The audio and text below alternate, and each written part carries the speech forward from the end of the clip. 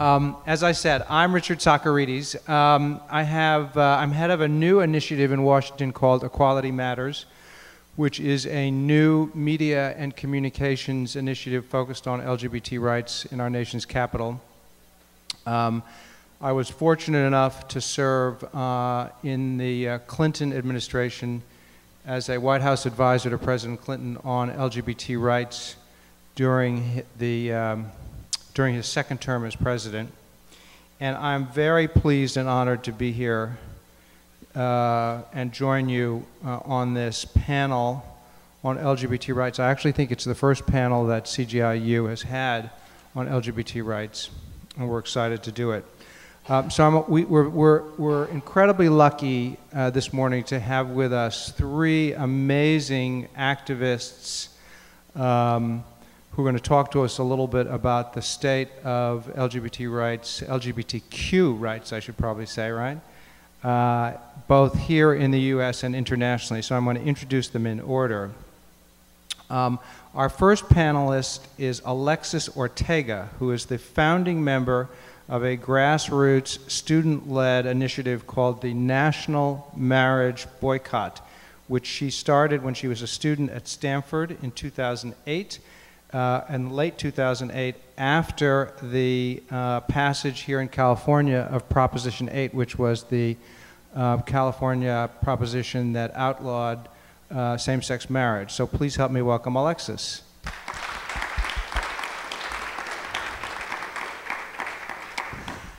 Um, our next panelist is um, Jenny Pizer. Now, Jenny is the the legal director and senior scholar at the Williams Institute at UCLA School of Law, which is a national think tank focused on sexual orientation and legal matters. How does it, how does it sound to say that? Right, it's a little strange, right? This is Jenny's first day on that job. Because uh, that's why I asked her, how does it sound to hear that? She said like this. Um, it's, because, uh, it's because for 15 years uh, prior to this morning, uh, she was the um, senior counsel and director of the Marriage Project for Lambda Legal, which is the nation's oldest, uh, largest, and, uh, and most successful uh, organization uh, focused on gay rights here in the U.S. Uh, and high impact litigation. They do litigation, I'm sure you've heard of them, all over the country, have done some of the cutting edge stuff. She's going to talk to us about it, uh, but they're involved in the Lawrence v. Lawrence v. Texas case and the Romer versus Evans case. So all the important cases up till now and the ones that are working their way through the court Jenny has already worked on. Please welcome Jenny Pizer. Okay, last but not least, I am very pleased to have met uh, this morning and also to have us join us uh, Steve Nemande, who is the chairperson of an organization uh, called Alternatives Cameroon, which is a organization focused on human rights and HIV issues, uh, which he helped found in Cameroon in 2006. Um, he is really one of the great leaders in Africa uh, for LGBTQ rights and around HIV issues. And he is an award winning human rights activist globally, also a medical doctor. Please help me welcome Steve.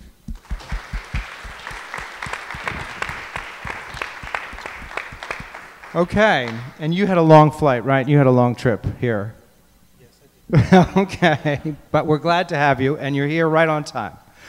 All right, so uh, I'm going to turn my back to some of you a little bit so I can look at our panelists for a minute. And um, all right, so I want to start with um, Jenny and ask you to give us a little bit of a snapshot of the uh, political and especially legal issues facing the LGBTQ community here domestically in the United States? Well, I'm happy to. Um, and I think actually we're moving to LGBTIQ. Never okay, let things rest for a minute. We're constantly evolving and growing. So, um, in terms of, and it is, I, I'm, I want to start by saying actually, it's really a thrill to see you guys all here and to have uh, these issues in the blend of all of these incredibly important issues that uh, you all are focusing on at this convening. Uh, and, you know, in a, in a way, it, it does feel fitting what I want to say as a starting framing of a snapshot um, is that we are at a, a moment in the U.S. of a lot of breakthroughs. I mean, there are a number of different things that seem like firsts.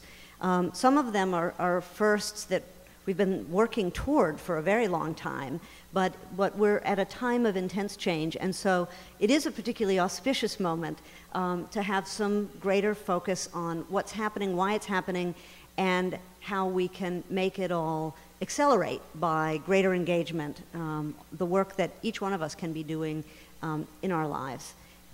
So, you know, what's happening right now? Well, just within the last couple of months, very recently, uh, we've seen at, at, the, at the close of last year, we saw um, the, uh, the U.S. Senate pass the bill to finally repeal Don't Ask, Don't Tell, and the president was waiting to receive it uh, and to to take the next step, a really significant step forward to ending that policy, um, which, you know, probably stating the obvious, but it has been a huge priority um, because this was about our own government saying that, um, that not that not that lesbian and gay people or LGBT people um, are not fit to serve. What the policy said was that the military would be so destabilized if straight people knew that their comrades were gay, that it would impair military effectiveness. And um, people really believed that some time ago, but over the years it's been shown that that really isn't true. People actually can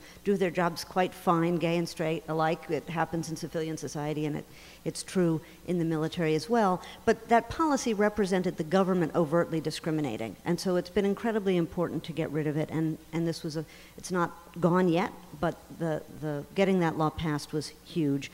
Um, and shortly on the heels of that, um, just uh, in February, the Justice Department uh, announced in litigation about the so called Defense of Marriage Act, the federal statute that says that married gay people in this country are going to be treated as unmarried for purposes of federal law. Sort of like, la la la, we can't see your marriage, you're not really married, um, even though thousands of us are.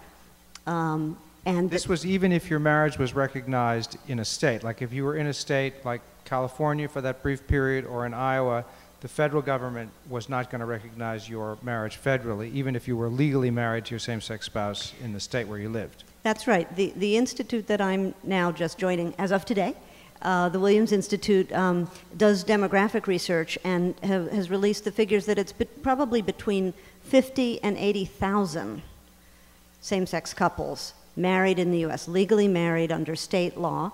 Um, but the federal government is pretending they're not married. So that huge sort of statement of discrimination by the federal government, and, and uh, it's, it's been in court. We've been litigating, many of us have been litigating, uh, but the, the Justice Department has announced uh, that it's done its homework and concluded that it can't be defended. It's unconstitutional, and, that, and the government will no longer defend it. That's a huge deal, right? Huge deal, and not just for marriage, certainly for marriage and family law generally, but it has ramifications for anytime government or government officials are um, mistreating gay people, whether it's ba based on a law or based on police prosecution or based on schools not protecting queer youth, because part of the analysis was that anti-gay discrimination should be recognized as the kind of discrimination that requires courts to take a closer look, that it should be presumed probably unconstitutional unless the government meets a very, very high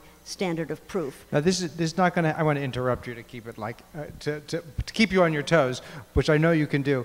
But um, this was not, um, this is not going to now happen automatically, right? This issue has to work its way through the courts, correct?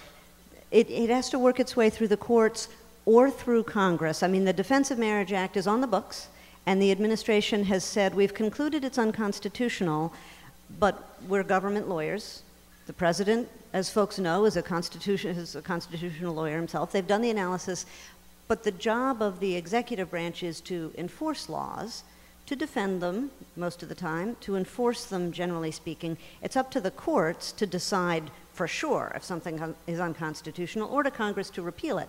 So there's an intense amount of work ahead now because while it, it is a powerful statement by the administration that this law, in their view, is unconstitutional, and we certainly agree, we had been suggesting that they might come to that conclusion. We, we think that that's true, but they're going to keep enforcing it um, while the cases make their way through the courts and while people debate it in Congress. And, and we'll be talking more about this, this kind of thing, but let me just flag there's a lot of conversations that need to happen not just in the halls of Congress and not just in government buildings, but in communities and around dinner tables because Okay, this is about this is about a process of social change. All right, that's a perfect segue to what I want to ask Alexis about.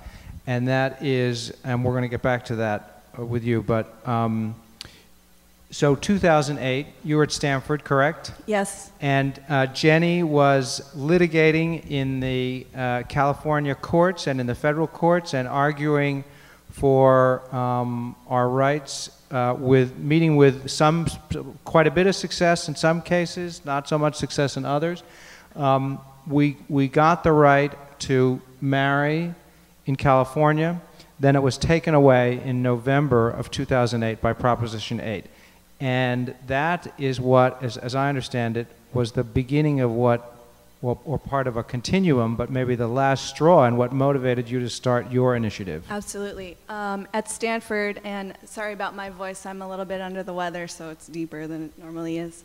Um, at Stanford, we were lucky to have a lot of queer activists who were very involved in the Prop 8 um, organizing. We hosted huge phone banks, um, some of the largest phone banks that happen on the West Coast. We did demonstrations. Um, the night of the election, we were outside, I think the, what's the regulation, like 100 feet or whatever from the um, polling however, places. however far you needed to be. Right, exactly. we were outside that night holding signs, um, and we had all heard the uh, the polls leading up until the election and how it looked like we weren't going to win. I'm a, a really big optimist, so I still had hope until the very last second, and we were all in the the LGBT community center um, when it was announced that Prop 8 uh, passed. And um, luckily, the community that, that I was surrounded by was very pissed off. We were angry. We were angry Stanford students um, who were in California thinking that this should not be happening. Why is this happening? Um, and we had discussions about what we could do to organize to demonstrate our anger. Um, I think that's where it came from anger. Uh, talking about maybe having ceremonies where we get pe- people who are married to rip up their marriage certificates in, in, a, in, a, symbol, in a, a way to symbolize their anger and, and also um, their uh, commitment to LGBT rights, even if it doesn't necessarily affect them, straight, straight heterosexual couples. Um, so what we came to is that we wanted to show the, the country, basically, and, and hopefully the world, that queer youth, LGBT youth, have a voice and we have a power. And um, we felt like Prop 8 didn't really demonstrate that as effectively as it could have. So what we did is we started National Marriage Boycott, um, and boycotting is something that we just felt. How'd you come up with the name? It's a great name. National. That's what, that's one of the reasons why we came up with it. We wanted to come up with something that was very in your face. We weren't going to sit around and just let people push us around. Um, and National Marriage Boycott, we wanted to make it national, which is why we chose the word national. When we say marriage boycott, you know, if you're fighting for LGBT rights and you say marriage boycott, that's a little bit of a, there's a disjoint there because people are like, well, don't you want marriage equality? Um, and that's the whole point. We wanted to start a conversation. The purpose of National Marriage Boycott was to enlist all of our straight counterparts on college campuses who really felt, you know, like it was wrong that Prop 8 passed but didn't know what to do about it.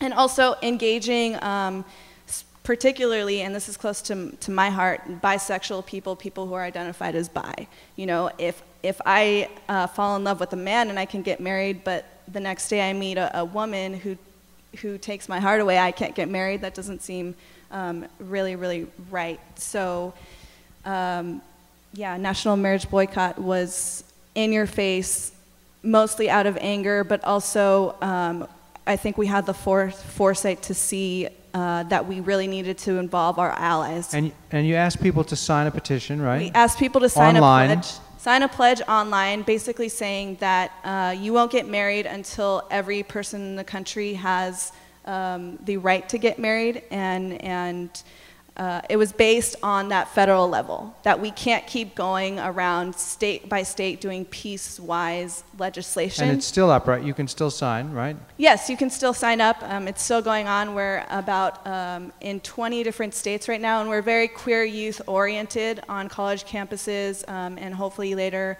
high school campuses. Um, What did you think when President Obama's Justice Department recently announced that they were going to no longer defend the federal law which bans?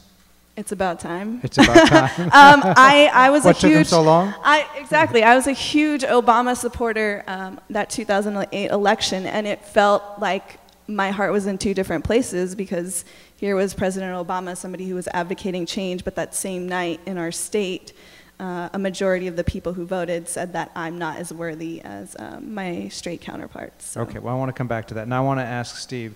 Steve, so now you, you've heard our two very articulate co, co-panelists talk about these issues here that face us in the U.S., but it's a very, very different uh, struggle, a very, very different situation uh, where you're based and where you're doing your magnificent work. Please thank, you know, you have all of our thanks and, and admiration for it.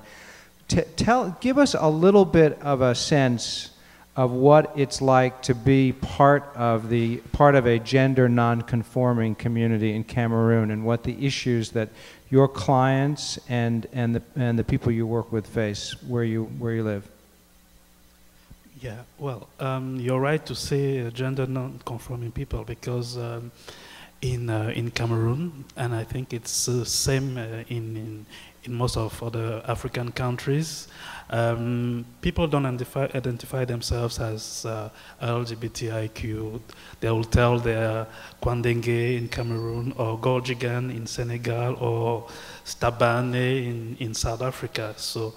Um, So nobody's like, nobody says they're gay, right? Nobody Uh, says. I'm gay. Some people do, some people do, but most of people don't. They don't really identify themselves as, as so.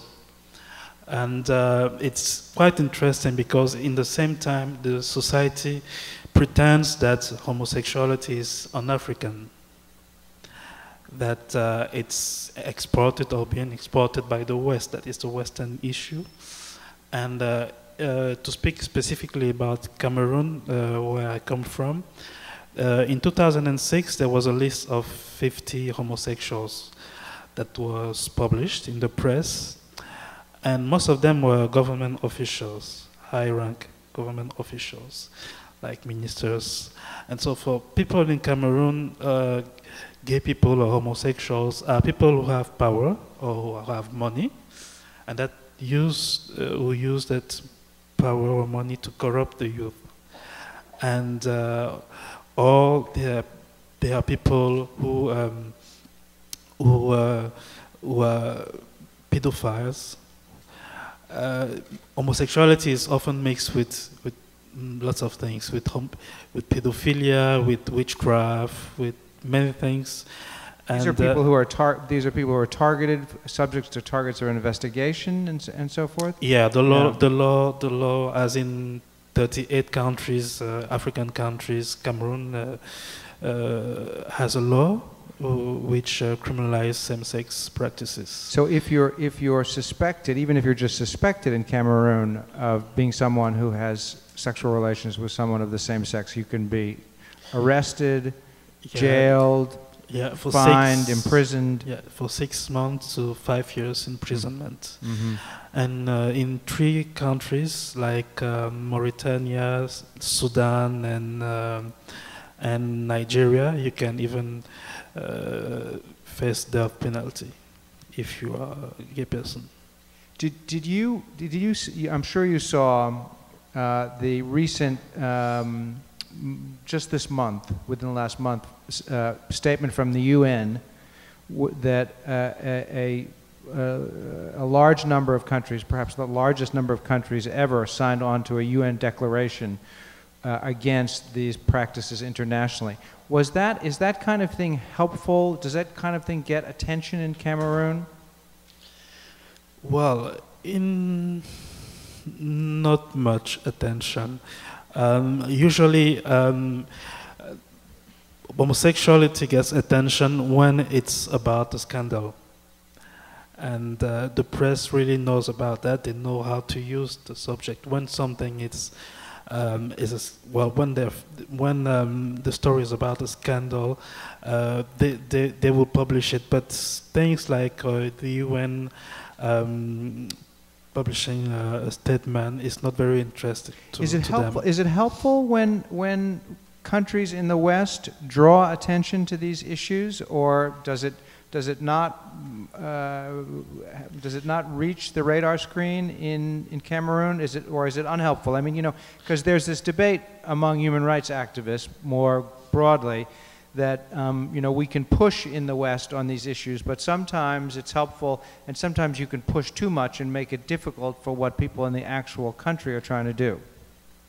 Well, it, it is helpful. It, it is helpful to um, to express to express uh, a, a, a, general opinion, to um, to make statements, uh, and to um, and to stress on the universality of of the statement, because we as uh, local activists we can always use those statements to try to um, make some advocacy uh, in our countries. Um, and uh, but but it is more even more useful to um, to be able to uh, um, to, to to speak to our to our to our officials because um, government to government pressure. Yeah, because uh, I'll take an example, recent example. We we had the opportunity to um, to meet the Prime Minister of Cameroon uh, with the, the support of uh, Human Rights Watch to present the, the, the, report we, we published. Yes, it's, a, it's an amazing report. I would recommend it to everybody, but there's a, I read it uh, uh, uh, last week, this report that your Alternatives Cameroon did with Human Rights Watch yeah. on the situation. Yeah, and um, it didn't even know what was happening in his country. He didn't know that people were. Uh, there were so many violations of people's presented rights. it to the president. Yeah, we presented it and met in person with the president. The prime minister. The prime minister. The prime minister. Yes, and um, thanks to that, uh, we were we were able to engage with the government on uh, on the issue. So yes, it's important. The, I would say the international community can can uh, um, can help. But you, you also have to keep in mind that um, we're working on a sensitive issue and that um, people, people working on the local level must not be put uh, in danger. Tell me just um, now, your organization also works a lot with on HIV AIDS issues, right? Which is, which is, a, which is a major health issue in Cameroon. Tell us a little bit about the work you do there. Well, we started with um, medical consultation. As I'm a physician and I work in uh, in a private clinic, so um, as we we started the organization, people started coming to me to complain about uh, what they were they were. Um, suffering from and they needed medical consultations. So we started by offering them medical consultations in the clinic and HIV uh, counseling and testing. And um, two years later, we were able to to um, to get funds for an HIV clinic. So now we have an HIV clinic where we can provide them with uh, information, with um, material like condoms and lubricants uh, with uh, consultations with HIV follow follow up uh, for those who live with HIV. And uh, we also do a lot of advocacy around the issue and uh, for, for to take an, an example, Alternative is uh, now observer to the African Commission on humans and, and people's rights, and uh, we were able to initiate the creation of a committee on the rights of people living HIV and those at risk, meaning uh, men who have sex with men and uh, injecting drug users, sex workers, and it's also an, an opportunity to um, to speak about the issue on the regional level uh, to to advance it. It, re- it really, I tell you, it really gives you a idea, right, of the scope of the issues that face us globally.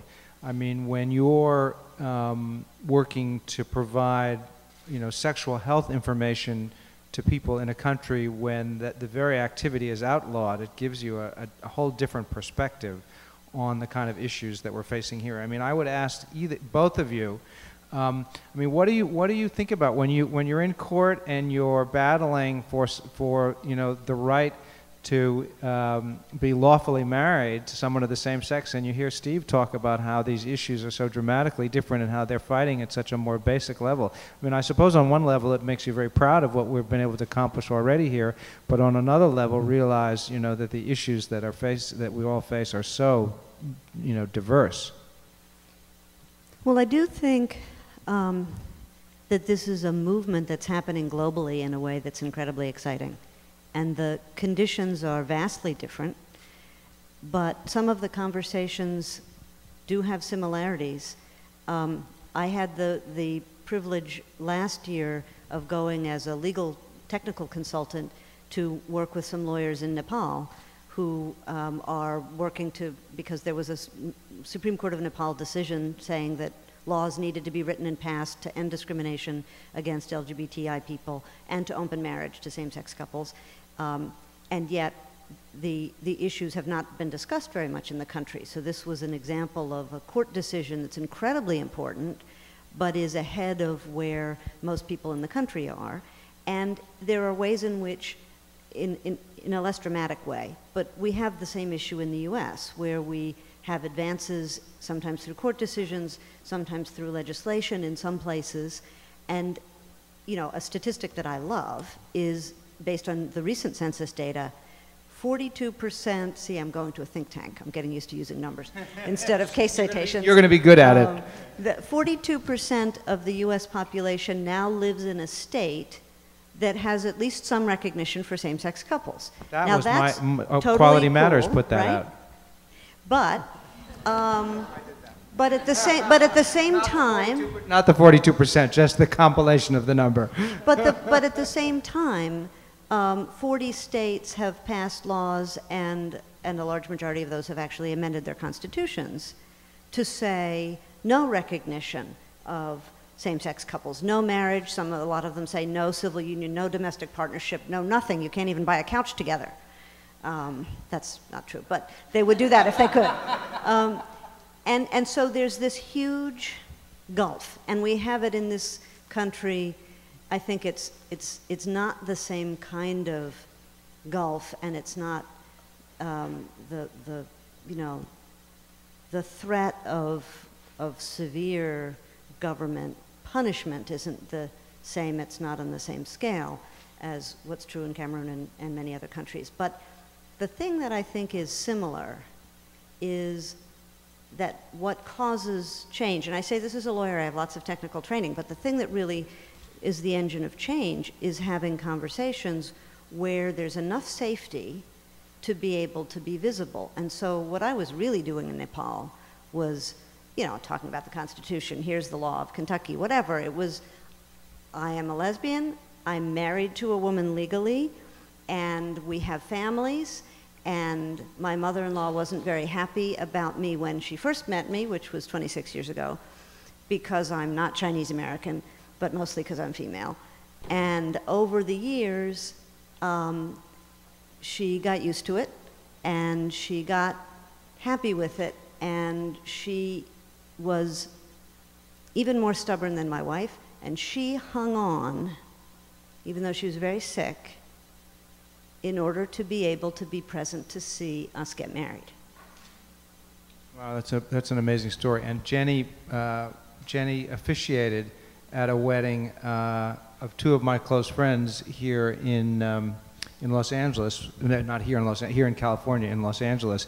And if you've never been if you've never been to a wedding in which two of your same-sex friends get married, you have a whole different uh, uh, understanding of the importance of, of, of what we're fighting for. So, Alexis, when you hear Steve talk about the issues that they, uh, that they face, does it, does, it, uh, does it inspire you? Does it make you think that we're, uh, uh, does it make you feel lucky or does it make you feel, how does it make you feel? I think uh, it's twofold. Um, one is, yes, I feel lucky and, and privileged. I think privilege is the word to, to be in the U.S. and to not be able to face those issues, but at the same time, uh, it also does inspire me um, and, and really makes me realize that we have to keep fighting. Um, even if the issues here may seem a little bit more insignificant on a global scale, it's still very, very important. Um, I don't think that, yeah, I think any government that does anything uh, to reduce the dignity and, and equality of its citizens is, is something that's wrong and something that should be stopped no matter what the scale is. So I think it's definitely good to have that perspective, that global perspective of, of what's happening in the real world. And also, if you know that history, if you know those facts and that background, that's very powerful stuff to say, okay, we might not have it that bad here, but it's that bad elsewhere, and all because of the fact of who somebody loves or how somebody identifies, and that's wrong. And I think that it's really easy for people to really connect with that um, and and see the other see the other side of the issue. Because it's all, you know, it all becomes an accident of birth, right? I mean, whether you're born in Los Angeles or New York or in- Europe or in Cameroon, it's like just a, like an accident of birth, you know? It's, it, it's all the same issues. Yes, and well, and you're right to be fighting, and this is what we told ourselves when we started. We told ourselves that if we want to live tomorrow, like uh, in the U.S., if we want, we want to have their problems, then we have to start now. so uh, you you you living this reality because some other people fought before you. So keep keep the fight. All right, we're to, um, we, this is, we're, we're, we're broken up into several segments, and now we're going to open the floor up for questions uh, for any one of the panelists. Um, so raise your hand, and we will, and tell us your name and where you're from. This gentleman, I think, had his hand up first. Yes. Hi, I'm Jonathan. I'm from Seattle University. And I had a question for Steve, actually. Um, where do you think this stigma that being LGBTQ is un-African stems from, and how do you think Africans can change this? Do you get it? It's- You, on- right? Okay. Thank you. Okay. Well, um, I think it's a pretext. People pretend that it's un-African because they don't want to accept that.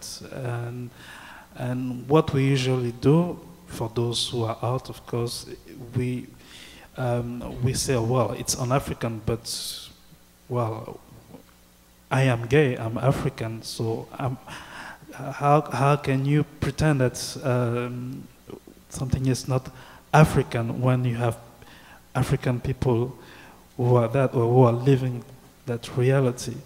And what we usually tell them also is that, well, let okay, let's admit that it's on African, uh, then um, and that uh, it's unnatural because some other people say it's unnatural. Then um, if if if if it's unnatural, how do gay people how do gay people uh, get to um, how, how do they do they get burned because they, they you have gay people never they, they don't give they, they don't give children it's only um, hetero straight people who give children and Yeah, we've heard that. We've heard that here too. yeah, their children are gay people so Okay, thanks. Yes, ma'am. Uh, wait, they'll, they'll hand you the mic so everybody can hear you. Um, what I have is. Tell us kinda- your name. My name is Allison, and I'm a UCSD student.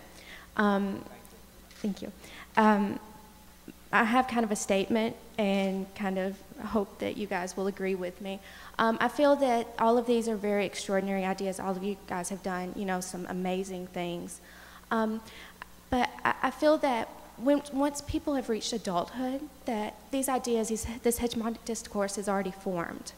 And it's very difficult to change these ideas. But when we think about where, where this comes from and with children who, who are in their lives, first of all, it's their parents. And it's very difficult as a society to go into homes and change ideas. But then we have who do you think of next? The teachers. Um, and I think that, that teachers need to be educated um, to deal with the bullying and the violence um, that, that's going on in schools. And I, I think this would be a first step to changing everything because when these children grow up, they've had these mentors K through 12, you know, through college.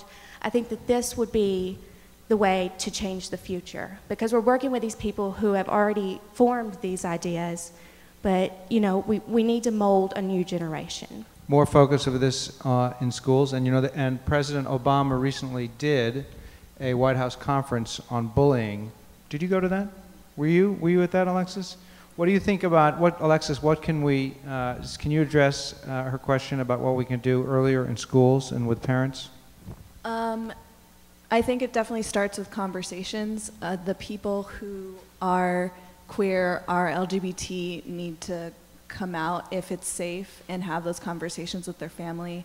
I was privileged enough not to have a, a, a terribly bad situation um, with my family, but my mom, you know, still voted yes on Prop 8. And when I told her the pain that that happened, um, I think she finally opened her eyes and realized that. So I definitely agree with you. When adults reach a certain age, their ideas are formed, and it seems very difficult to change those ideas. But if you're close to somebody and you share um, your feelings and emotions about something, then I think that makes it a little bit easier. And I also think for the generations that are coming up now who feel really comfortable coming out when they're like 13, um, some of those kids are going to be teachers themselves. And I think that's really hopeful um, for me, especially. As far as what we can do right now, it's, it's a little bit difficult because you still have those people who have the ide ideology that we shouldn't even be talking about sex at all in schools. So how do you, how do you kind of navigate that and, and go about it in a way of, of doing something or producing a program or taking action where you can address those concerns but also um, are able to do exactly what you're saying, provide mentors. Do you think, do you think the most powerful individual political act we can take is to come out? Um, I kind of do right now. Maybe if I had time to think about it, no. But um, what about you, Jenny? Do you yeah. think that? Yeah, absolutely, uh, including if you're, you know, if you're non-gay, to come out as somebody who cares about it and and, and has views and is invested in society being good. Is that a realistic, Steve, option in Cameroon? I mean, is that a, that must be a very powerful political act in Cameroon to come out? Yes, it is. It is very, very powerful. Um, but in the same time, um, a lot of people choose not to. It's not, not always to, safe. Yeah, not to come out because it's not safe. And what they do is just live like uh, like everybody and try to be uh, models. A lot of people who have succeeded in their lives and who help their community or their families um, are actually known to be gay, and it's people don't speak about that, but people know that they are gay people, and uh, it, still they are an example for others. So, in some way, you can still uh, give lessons even without coming out.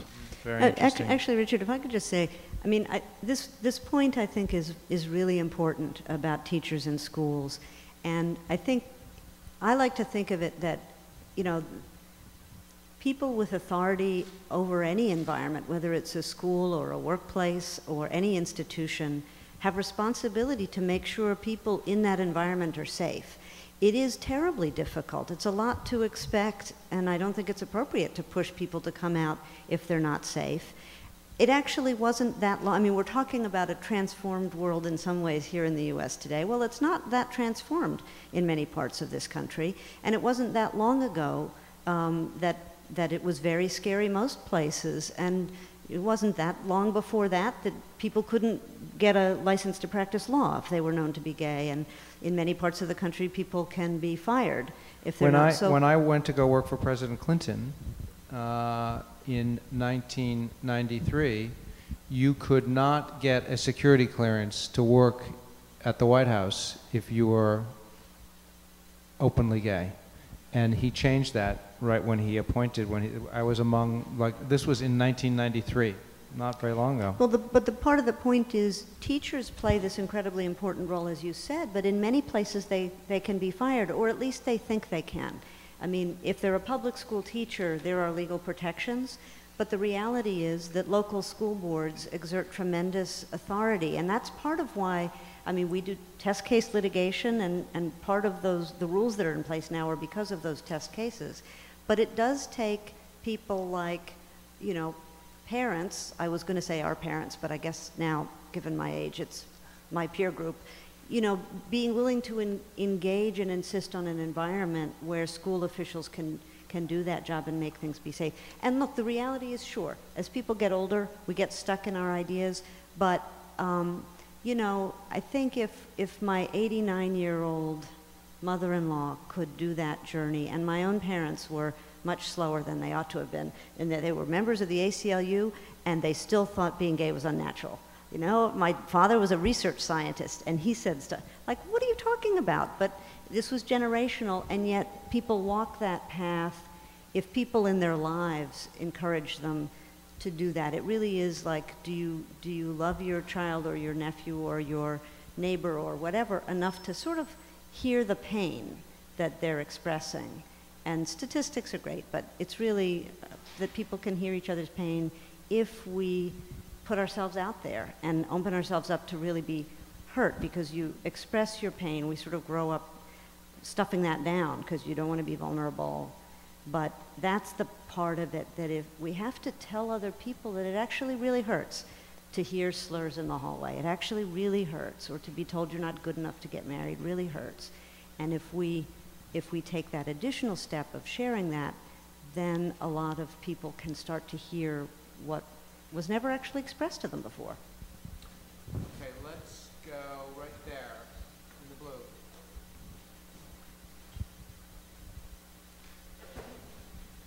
My name's Sam. I'm a medical student here at UCSD.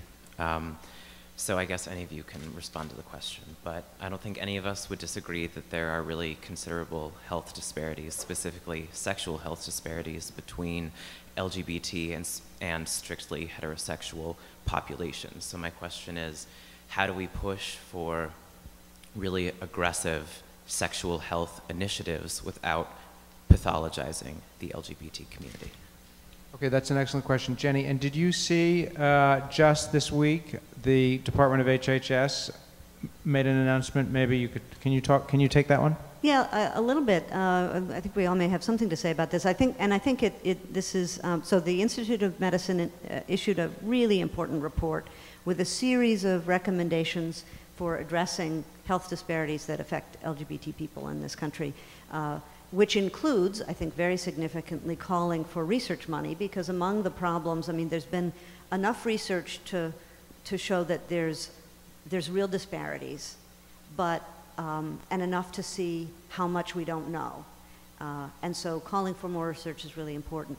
Uh, but they've, they've set protocols, and particularly looking at um, youth suicide and suicide attempts, looking at substance abuse, looking at minority stress syndrome, looking at a number of these things, including um, discrimination by healthcare professionals that cause people not to go back to the doctor so that basic wellness care isn't delivered. These, so this report, I think, is really groundbreaking. Actually, under President Clinton, there was the first step in this, in this direction uh, with the Healthy People 2010, but this is a huge step forward. Just just want to add that, uh, well, you, you must you, you must use any opportunity. Um, very recently, um, uh, Cameroon has uh, integrated men who have sex with men in its uh, national AIDS plan, and that was thanks thanks to um, global advocacy. Uh, um, and that um, the Global Fund uh, said in its in its call for proposal that any proposal must have an MSM comp- component. And now we are using that opportunity to say, well, um, in order to um, men who are sex women who live HIV do not only have HIV infection, they also have other infection.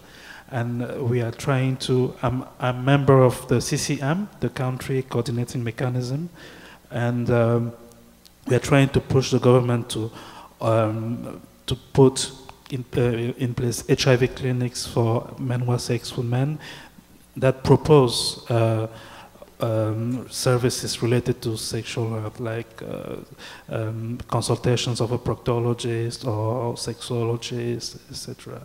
And uh, last month I, I, was in Ouagadougou where I was uh, also coordinated uh, the first uh, training on HIV and men who are sex men um, with the University of Ouagadougou, which is in Burkina Faso. Uh, uh, people who attended the training were health workers or social workers, and or even um, or even uh, LGBT activists, and um, this is also another way to um, to work on, on the access of uh, LGBT people to sexual health and to give the knowledge to medical workers in order to appropriately uh, respond to the needs of those people. Richard, could we have one more? Because Rodney had his hand up, I know the entire time. Oh, good, yes. Putting you on the spot. Thank you. Um, hello, my name is Rodney. I'm a graduate student at UCLA. And I just want to thank all of you so much for you know, the wisdom and the inspiration that you've offered to all of us. And my question is um, a little bit more complex, and I'm going to try not to intellectualize it too much. But um, as a graduate student in African American studies, I naturally see the parallels between the LGBT struggle for human rights and the African American struggle for, for human rights of the 60s. And my question falls along the lines of how do we delineate and cross that boundary but also learn from the struggles of the 60s because I do feel like there are so many parallels between the struggles that we're going through now with desegregating the military um, and then ending the don't ask don't tell policy. How do we create that process of change within not only our own community, the LGBT community, but also within the broader societies so that we don't have um, some, of, some of the amazing challenges and problems that we do have within our own communities. So can you talk a little bit more about that? All right, that's a great question. I think actually, I, I, think that we could probably do a whole panel just on that question, but we'll we'll we'll try to get some insight from everybody. And Alexis and I talked. We talked on the way over here a little bit about the impact that uh, issues of, of race have played in your own personal life uh, and the intersection with sexual orientation issues. So Absolutely. why don't you lead us off? Um, I think it's critical to involve people of color in any fight for human rights. Um, any minority needs to be involved, uh, particularly the LGBT rights movement. I'm more familiar with California because I was involved in it, but we did a really terrible job of involving people from the from the black community, but also the Latino community and, and other minority communities, and made really big mistakes like calling LGBT rights the new civil rights movement and not realizing that that is going to, you know, step on the toes of people who were involved in the 60s and, and uh, be really insensitive, I think, to some people who might not be comfortable with the LGBT struggle being so uh, synonymous and, and um, compared to, to that incredible struggle that happened in the 60s. And uh, I think it takes a lot of reaching out, a lot of extra work, and um, even in my own organizing that I've done, a lot, everyone around me was white. It,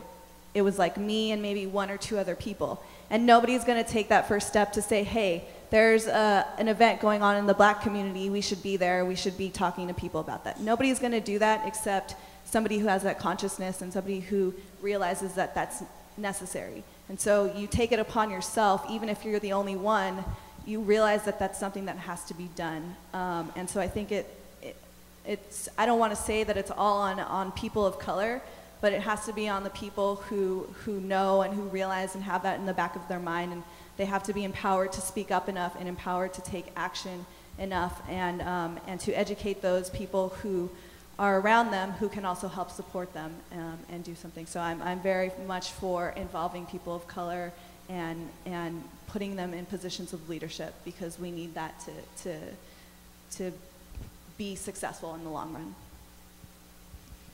Yeah, I guess I would just add that what among the things that I think is really exciting about what's happening now is that these issues are percolating everywhere and in, in different paces, different paces and different ways, but you know, all over the U.S. and all and around the world, and because there are queer people everywhere in every family, in every community, in every different group. You know, we're everywhere, and so I guess what seems important to students, you know, and all of us, you know, we're just sort of, we're students in our life is like learn, what do we, what are the lessons that we learn from what people have tried in different places? And how, and how can we be more effective because we're working more closely together with new tools, new ways of communicating, but you know, kind of recognizing that this is about conversations that are happening around every dinner table and um, that in, in every household, people who are uncomfortable say, oh, you got this idea from over there. You're not really like that. You're like I always thought you were. You, you're having some bad influence from some other group. Right. And so, I, I mean, I think that there are similar challenges everywhere, and that it is, as with so many issues, we're more powerful when we're, you know, when we're having more different ties that bind, which means not just queer issues and not just economic justice and environmental issues, but seeing the connections and collaborating among things. Right. And while that question had a very had uh, sort of had its origins in U.S. policy, certainly viewing these issues as global human rights issues would have a direct impact on your work. Correct? Yeah, well, to speak about um, about uh, Cameroon or Alternatives Cameroun, um, we we uh, we when we were discussing about uh, about uh, um, our strategic, we we we just told ourselves that we we are not just uh, LGBTIQ people, we are Cameroonian citizens, and so we need to get involved in any issues uh, around uh, human rights in, in Cameroon. And uh, that's why we decided to be a human rights organization, not an LGBT organization. Uh, though it will be difficult to register as an LGBT uh, organization in Cameroon, but it's another issue. and so what we do is we, we try to relate um, uh, with other human rights organizations to uh, we, we have um, a set of uh, human rights uh, researchers in, in, inside the country and who are not, not always LGBT people. They, they, they, might be straight, but they, they work on, on human rights. They are lawyers, uh, for example, or jurists, and and it's it's a way to uh, to to to to keep uh, um, uh, to keep in touch with the reality and to um, to reflect um, to integrate uh, your um, to integrate uh, yourself in the society. Because you, you um, we've we've, real, we've realized recently that um, if we had not done so we we won't be able today to, uh, for example, be at the CCM uh, because people people um, will say like the, the, it's the case in other countries uh, that well yes let's admit you you're gay but and so what what what what next? What what how does it affect us are you uh, why don't you speak about uh, um, people with disabilities? Why only LGBT rights? Mm-hmm. I see. Okay, great. So I tell you what we're going to do now, and then we're going to come back. We're going to uh, this next little um, uh, part of our panel. we're going to try to ask you to break up into um, smaller groups and do a little 10 or 12 minutes of brainstorming on about ideas that we could, everybody in the room can take to advance the cause of, um, the, to advance this as a human rights issue. Uh, things you can do locally, things we can do nationally, and things we might be able to do uh, to help efforts uh, globally.